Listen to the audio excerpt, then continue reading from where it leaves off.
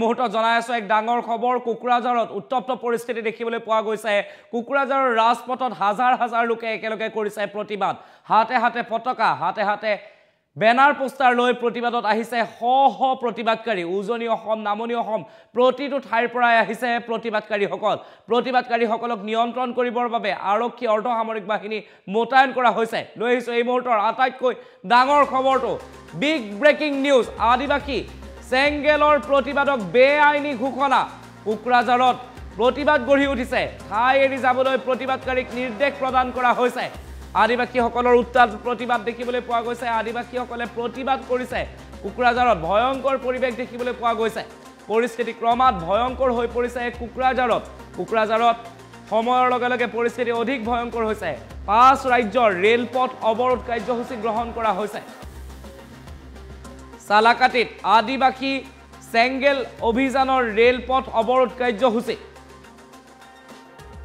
প্ৰতিবাদক বেআইনী ঘোষণা প্ৰশাসনৰ। এই মুহূৰ্তত জনাই আছো আটাইতকৈ ডাঙৰ খবৰটো কোকৰাঝাৰত ভয়ংকৰ প্ৰতিবাদ দেখিবলৈ পোৱা গৈছে। আদিবাসীৰ উত্তাল প্ৰতিবাদত কঁপি উঠিছে কোকৰাঝাৰ। ঠাই এৰি যাবলৈ নিৰ্দেশ প্ৰদান কৰা হৈছে প্ৰতিবাদকাৰীক। আদিবাসী চেংগেল অভিযানৰ ৰেলপথ অৱৰোধ কাৰ্যসূচী দেখিবলৈ পোৱা গৈছে। উজনি নামনিৰ পৰা অহা শ শ আদিবাসী লোক উপস্থিত প্ৰতিবাদথলীত প্ৰতিবাদথলীত বৰ্তমান ভয়ংকৰ পৰিৱেশ বিৰাজ কৰিছে। হাতে হাতে পতাকা বেনাৰ পোষ্টাৰ লৈ দলে বলে আহি উপস্থিত হৈছে প্ৰতিবাদকাৰী আৰু সেই সময়ত প্ৰতিবাদকাৰীক নিয়ন্ত্ৰণ কৰিবৰ বাবে দলে বলে আৰক্ষীও আহিছে। অৰ্ধসামৰিক বাহিনী মোতায়েন কৰা হৈছে।